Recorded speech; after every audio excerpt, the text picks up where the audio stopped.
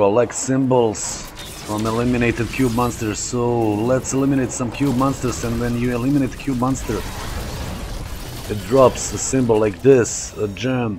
So what you need to do, collect them, five of them, collect them immediately as fast as you can if you don't want to do it twice because the first try they disappeared when the sideways anomaly disappeared.